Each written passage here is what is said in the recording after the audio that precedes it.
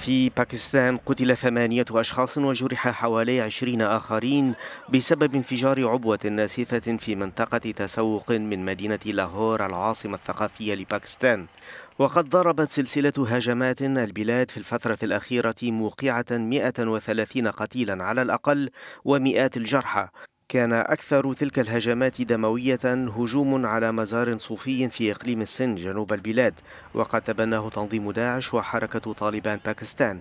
من جانبها توعدت الحكومة الباكستانية ومسؤولون عسكريون بتكثيف العمليات لمطاردة المسلحين عبر أنحاء البلاد فيما أغلقت الحدود مع أفغانستان لدواع أمنية.